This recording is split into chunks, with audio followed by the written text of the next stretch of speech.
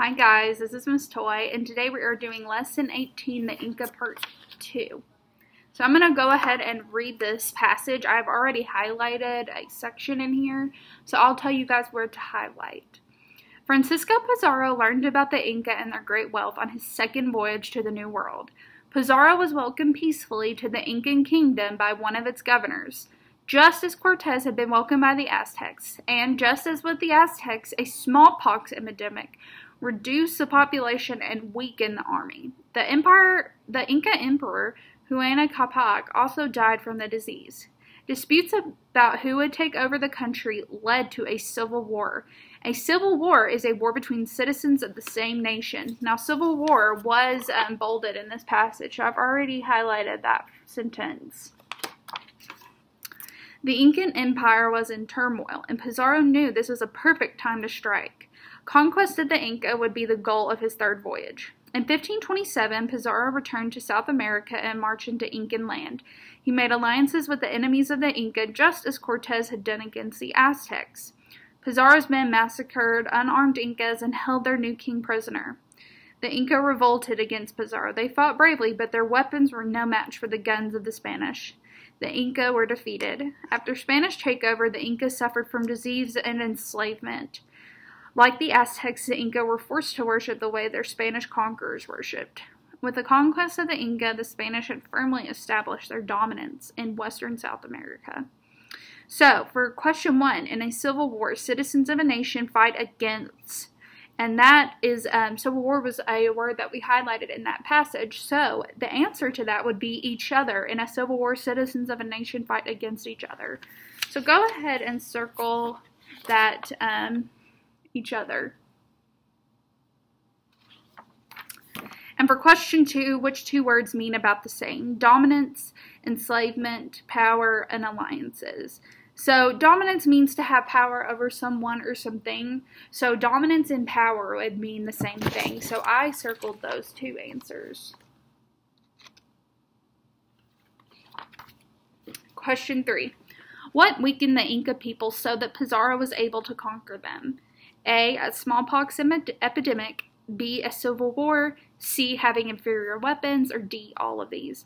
Now remember in our first paragraph, um, it talks about that smallpox epidemic. So it, it could be A. B, a civil war. Remember, we highlighted that, and the Inca were having a civil war against each other about um, who would lead and take over the country. So it could be B.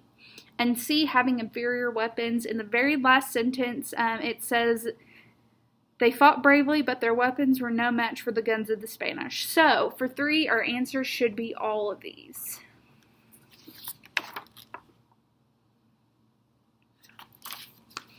Four through five. Check the statements that are true about Cortez and Pizarro.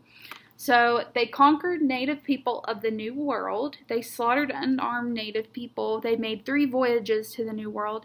Or they were welcomed peacefully by the natives. So it wants us to um, check the statements that are true. So, um, they conquered native people of the New World. Cortez and Pizarro both um, conquered those people of the New World. So, we would make that a true statement. They slaughtered unarmed native, native people.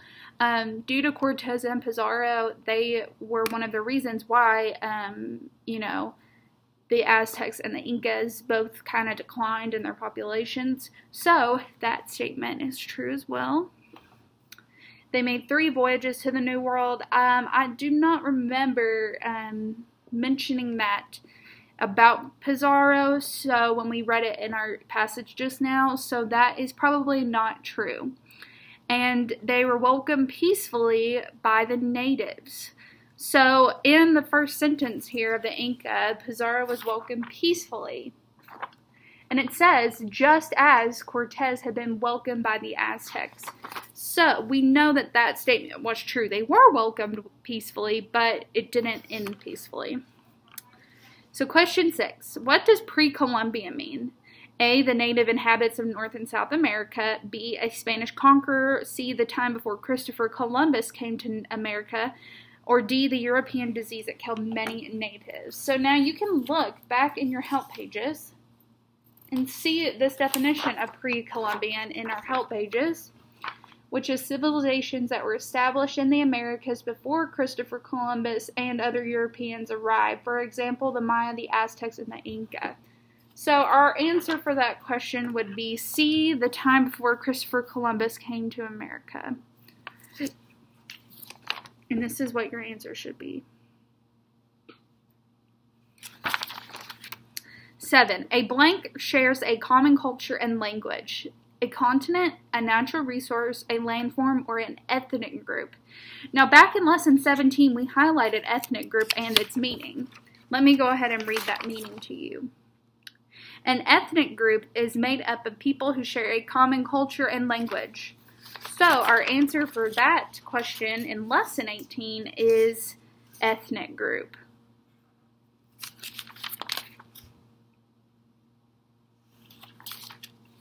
Eight.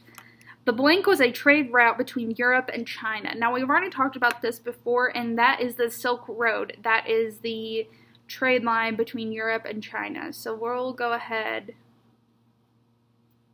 and circle that one. And then nine, lists the countries that border the United States um, to the north. So if we go back to our world map here, um, not that world map, let me see in the help pages if I can find it. And this should be a common knowledge um, question. But if you go to the United States map, the political map, to our north is Canada, and to our south is Mexico. So the country that borders the United States to the north is Canada, and to the south is Mexico. Which type of map uses various colors to show elevation and landforms but may not include boundaries or capitals? Political, physical, both, or neither? Now remember, a political map is what we just saw here, and it does show um, borders and capitals. So as we see in each of the states, the capitals are located in there. This is a physical map, and I do know that it is very um, dark looking right here, but if it was a normal physical map, it would be colored to the elevation of everything. So our answer to 10 is a physical map. And this is what your lesson 18 should look like. And that is all. Thank you.